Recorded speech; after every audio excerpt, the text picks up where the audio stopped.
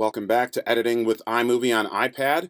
Today we're going to talk about adding titles to our news story to introduce our character or characters.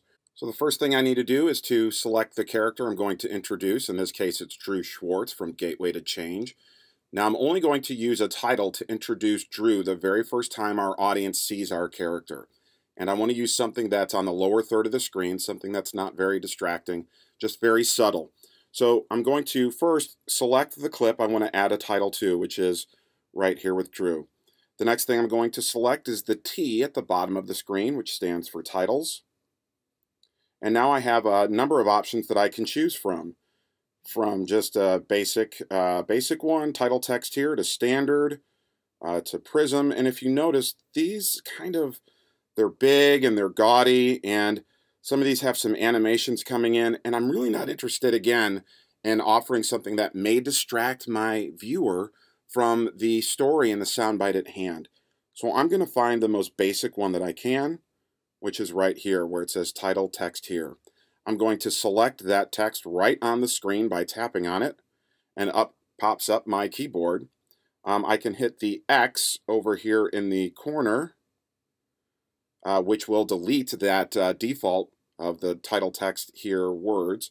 And I'm going to write in his first and last name, Drew Schwartz. Now, it's very important that we spell the name correctly of our character.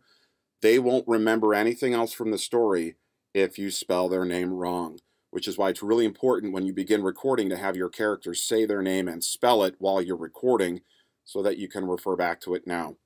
Uh, the other thing I like to do is add a title. And so there's a lot of different ways you could do this. I'm just going to do a very simple hyphen. And I'm going to write the name of the organization, Gateway to Change, Coordinator.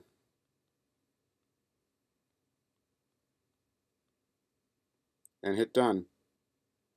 And now when that comes up on the screen, I can just scroll back here and play. And you see it pop up just right there in the lower part of the screen. Drew Schwartz, Gateway to Change Coordinator. Oh, but look at that. It stayed for the entire time while my B-roll is starting to play.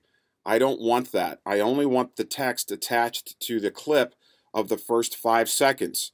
So here comes back into some of the B-roll editing we talked about before. Um, we're going to select the clip, right where we want the text to turn off. And now I'm going to select Actions and Split. So that now splits the clips into two. It won't be a, a cut or an edit. It will just end that clip. So now when I play the title, it'll slowly fade up, plays while Drew is introducing the story, and now it faded out and goes right into my B-roll.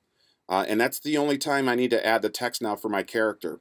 If I have multiple characters, I will want to add uh, a lower third title for them the very first time that we see them. Uh, so for me, that's it for titles. Stay tuned next time on Editing with iPad on iMovie. We will talk about exporting the project and sharing it and what we do next with our story.